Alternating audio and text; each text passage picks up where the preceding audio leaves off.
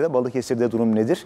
Balıkesir'de e, sandıkların %8,66'sı açılmış ve baktığımızda Cumhuriyet Halk Partisi ve AK Parti adayının yarıştığını görüyoruz. Ahmet Akın Cumhuriyet Halk Partisi adayı şu ana kadar sayılan oyların %48,25'ini almış. Yücel Yılmaz AK Parti adayı ise %42,34'te. Aradaki farka baktığımızda orada da daha küçük bir fark var. 3820 oyluk bir fark. Bakalım girişat ne yönde olacak Balıkesir için?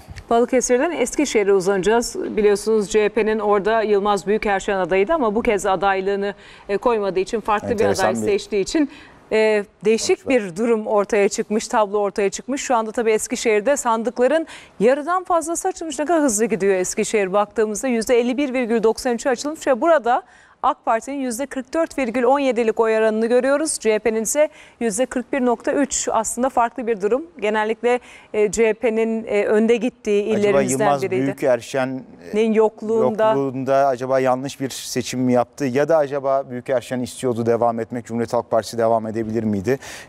Şu anki tablo sanki e, Eskişehir AK Parti'ye gidiyor gibi ama daha sandıkların yarısı açılmış.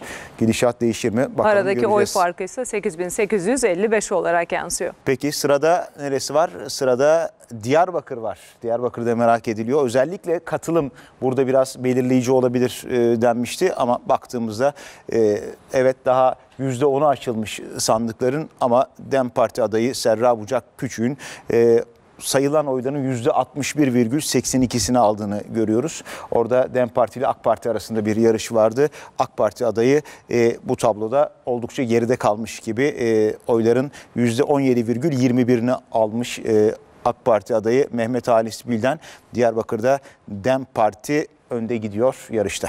Diyarbakır'dan Ordu'ya uzanacak.